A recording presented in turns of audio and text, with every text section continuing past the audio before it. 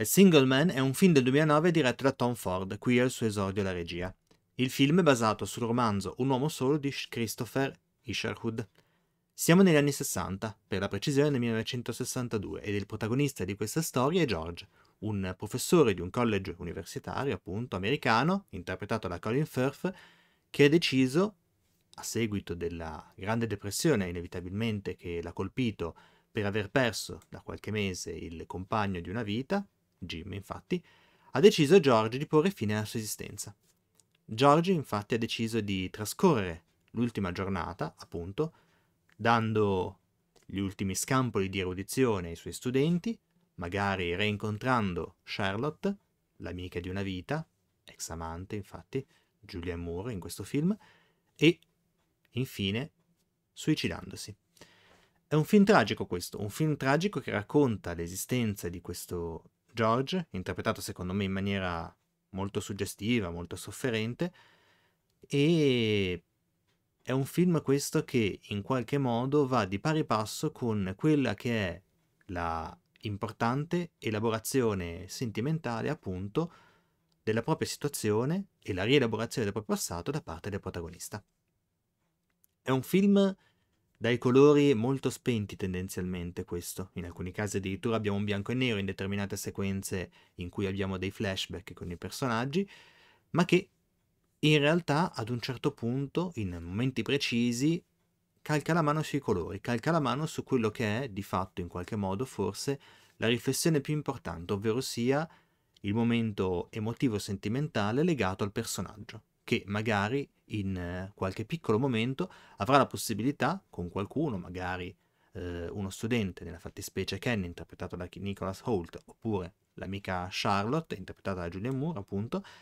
avrà l'occasione di manifestare effettivamente, almeno in parte, tutta la sua emotività e tutta quanta quella sua capacità non soltanto di osservare ma anche di sentire.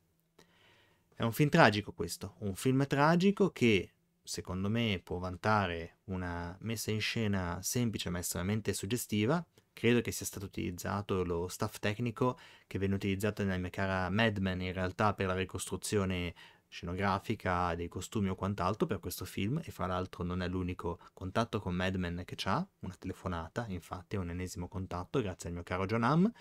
e complessivamente questo film che nella sua oretta e mezza circa, oretta e quaranta, vola via che è una bellezza, secondo me, è una storia al tempo stesso profondamente triste, ma che in realtà, a parte forse ad un certo punto, magari nel finale, riesce tutto sommato a mostrare un qualcosa di profondamente toccante, ma che riesce comunque in qualche modo a essere soprattutto una elaborazione sentimentale, un'elaborazione sentimentale che fa il personaggio principale, appunto George, e che in realtà di pari passo fa anche lo spettatore, che magari potrebbe ritrovarsi nel caso di relazioni passate che si sono interrotte e quindi così come è il personaggio di George che in determinati momenti, con determinati particolari, oggetti o circostanze, va a ricordare l'amore passato, allo stesso tempo può fare lo spettatore. È un film questo poi che racconta anche di che cosa? Racconta, almeno in parte forse, di come è stato il passato e come poteva essere, soprattutto nella parte in cui abbiamo il personaggio di George che, così come era andato al momento dell'annuncio della morte del suo compagno Jim,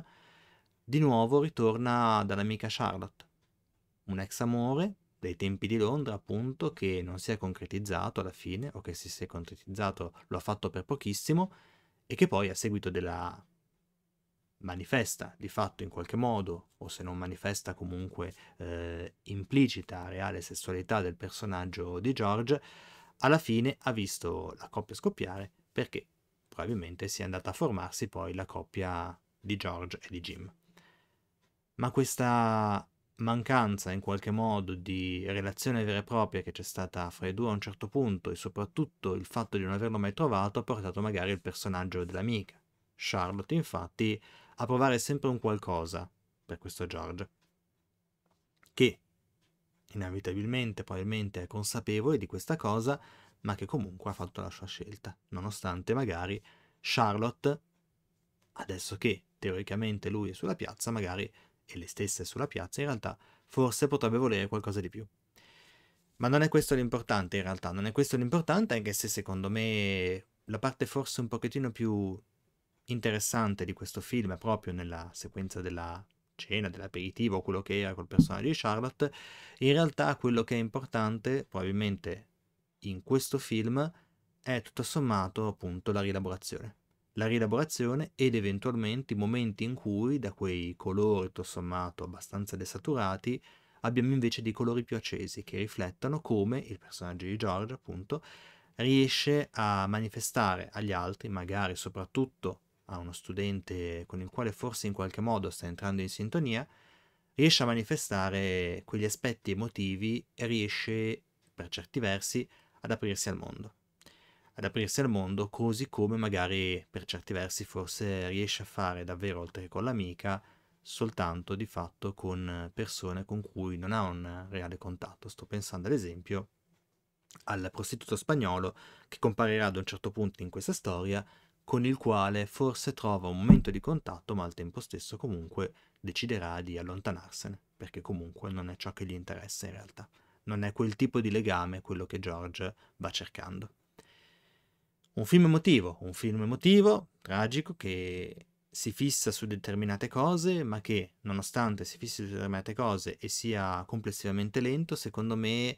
non è percepito come lento dallo spettatore tutto sommato, almeno per quanto mi riguarda, e tutto sommato nella sua oretta e 40 circa mi ha volato via, mi ha volato abbastanza via.